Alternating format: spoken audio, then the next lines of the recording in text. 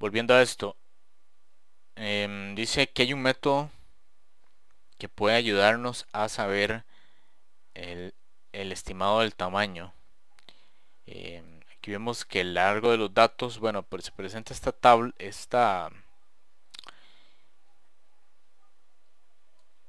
base de datos que se llama Foodmart y dice mostrar el estado de la tabla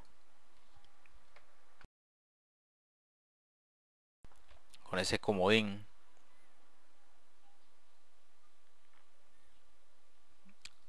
Que quiere decir any cualquiera.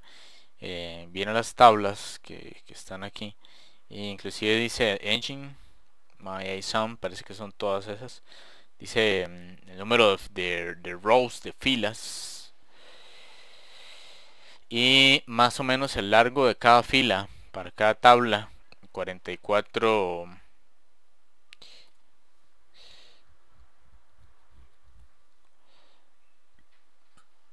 posiblemente sean bytes.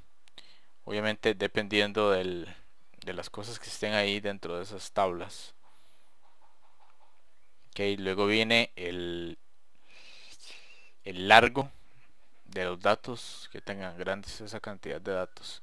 Vemos que customer es bastante grande por ejemplo cuenta es más pequeño y que se diga categorías. Ok para un total de 12.5 megabytes.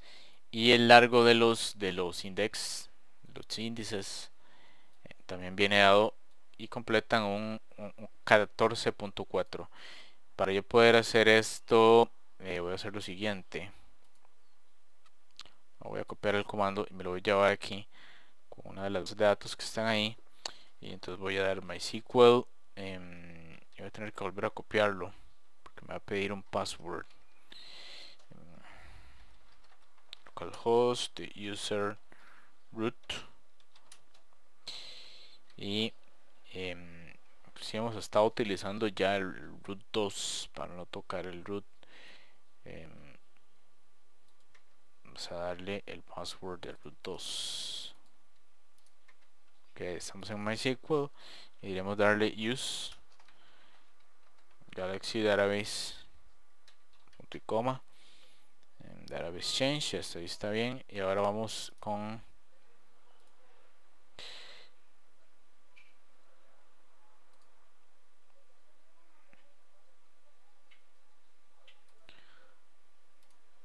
em, y bueno eh, no, lo, no lo voy a poder mostrar más grande pero ahí se ve